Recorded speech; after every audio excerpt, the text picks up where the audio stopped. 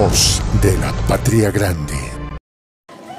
Después de tres años de no ver a su hijo Rolando, procedente de Holguín, en el oriente de Cuba, Nancy llegó hoy a Miami para reunirse con su hijo y toda la familia, gracias al programa de parol para cubanos, venezolanos, nicaragüenses y haitianos anunciado por el presidente Biden hace una semana. ¿Qué siente ahora que tiene toda la familia reunida?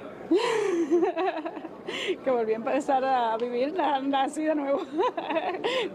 Para Rolando esta reunificación ha sido un momento especial. Mayrelis, esposa de Rolando, se encargó de organizar todos los detalles para la solicitud del parol para su suegra. Me siento muy emocionada y estábamos, tú sabes que no lo podíamos creer porque apenas hicimos la aplicación el sábado y ya justo el martes en la noche ya estaba todo aprobado para que ella pudiera volar porque ella decidió volar el viernes para estar unos días más con la familia. El proceso fue rápido, bastante rápido. Para concluir el proceso, Nancy tuvo que descargar la aplicación móvil CBP One, pero tuvo que hacerlo con un VPN, como advierten los comentarios de la tienda de aplicaciones de Apple, pues de lo contrario no funciona en Cuba. Fue fácil, sí, porque escanean la foto, la cara, el rostro, el pasaporte y algunas preguntas sencillas.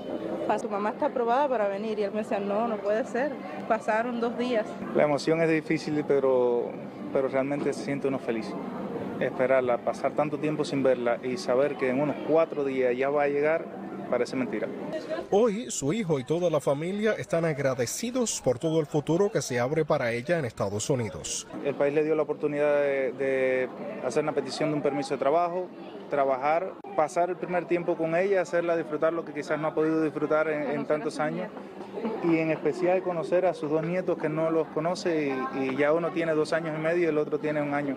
¿Cuáles son sus planes más inmediatos? Liberar a los que quedan, traerlos, que vengan. Voz de la Patria Grande.